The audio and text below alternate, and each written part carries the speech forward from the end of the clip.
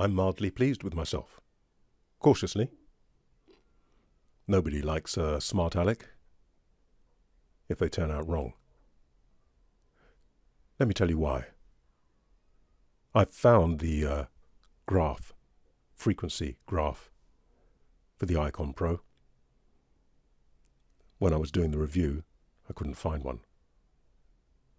And I think I said in the review that I sensed a kind of uh, something a little bit in the, the top end. A little. Well, I've found the graph, and uh, it's very, very slight. So I'm cautious because, am I fooling myself? Did I really hear that? It looks so uh, small, the increased sensitivity, and there's something else as well. Uh, so I thought, let's see if we can look at this empirically. And I have my trusty Beyer M88. I put the two graphs together, and we'll have a look, and then see if we can hear what the graphs appear to show.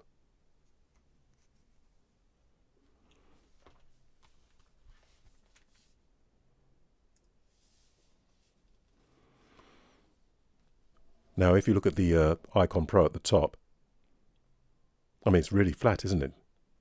But I do notice round about 5k, about the presence band, that it goes just ever so slightly above and then a little bit above uh, 10 it drops off just a little and then restores.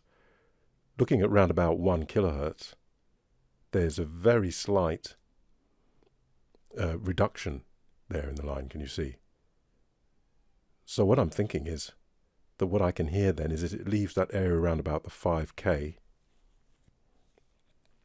just a little bit more exposed. Bear in mind it's also a very fast microphone, so there's going to be detail in there, and sometimes you can confuse detail with uh, accentuation. And looking at the low end, at 100 hertz just above, starts to drop off. Oh dear. However, if we look at the two traces, uh, one's 5 inches and one's 12 inches, and it doesn't uh, show a proximity trace when you get closer. If you compare it with the Beyerdynamic M88 below, wow. Well,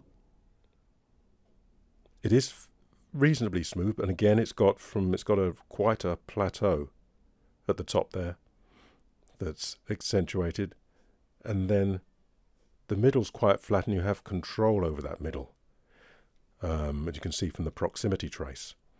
So again, looking at 100 hertz at one meter, it's doing much the same as the earthworks at um, 12 inches, really, no? Looking at the dB on the side. But of course, if you get closer, then it comes up, and if you get really close, it really comes up. So you've had a good look at that. And let's compare the two sonically and see if it can make any sense of the graphs.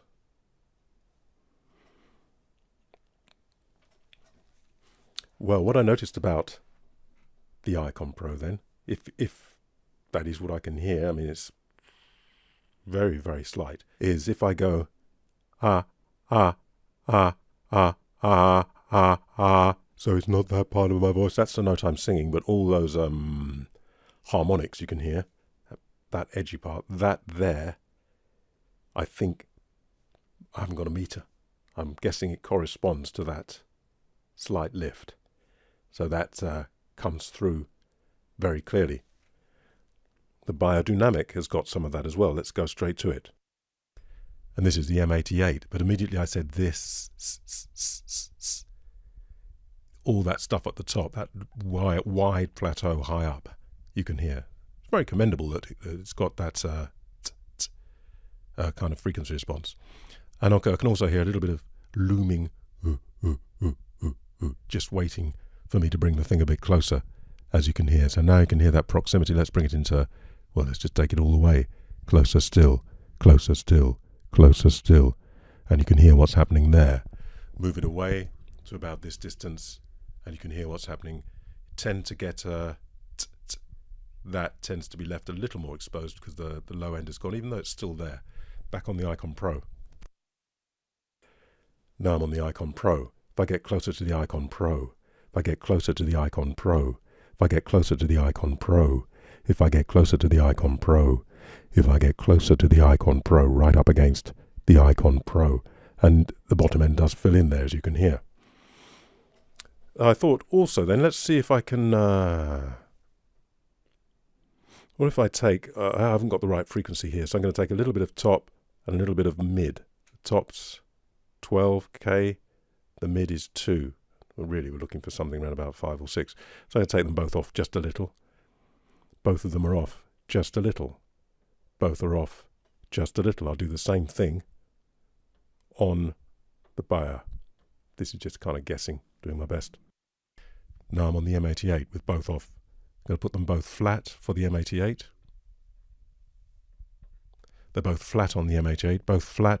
Just going to roll them off a little, treble first, taking the top end off the M88 a little, taking the top end off the M88 a little, and taking some of the lower of that mid-range out there just a bit. So that's the M88 with just a little bit of the top and the mid rolled off.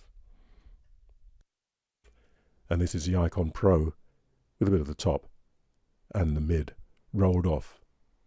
I think they're kind of nearer each other. The Icon Pro has got more detail to my ears, nonetheless, in that area there.